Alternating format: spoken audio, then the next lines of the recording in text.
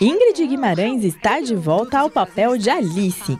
Após o sucesso de sua empresa de produtos eróticos e depois de deixar o comando da casa e dos filhos para o marido, ela decide se aposentar e entregar a diretoria da própria empresa para ninguém menos que sua própria mãe. Agora o momento é de relaxamento e dedicação total à sua família. Mas isso pode estar ameaçado com o surgimento de uma nova concorrente muito mais jovem.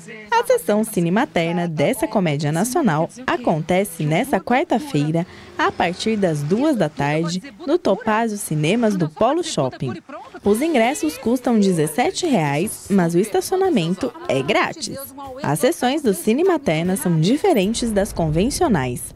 A luz da sala e o ar-condicionado ficam ligados de maneira mais amena e o som é mais baixo. Trocadores e voluntários também ficam disponíveis para que as mamães curtam o filminho com seus bebês, mas todos são bem-vindos, desde que concordem com as regras da sala. Os filmes são escolhidos pelos cadastrados no site do projeto www.cinematerna.org.br.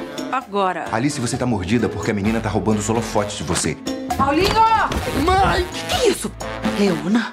Oi, Alice. Vou te falar uma coisa. Se você não namorasse meu filho, eu te pegava. Ah, eu te pegava também. Pra trabalhar comigo. Ah, todas pra lá.